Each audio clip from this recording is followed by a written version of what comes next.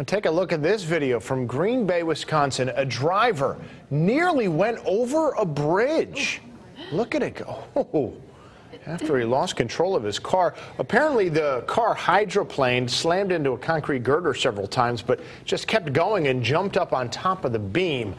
The car was dangling over the side like a teeter totter. Oh my goodness. That was only about a foot away from really being bounced or just going right over the edge. It's amazing how just momentum. Yeah, it's Way to go. You think bouncing it'd several stop. times and then, wow.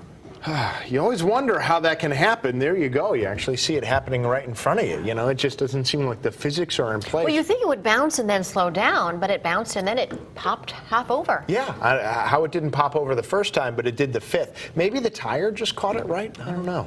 Interesting to see, though. Yeah, I'm glad scary. everybody's okay. Yeah, definitely.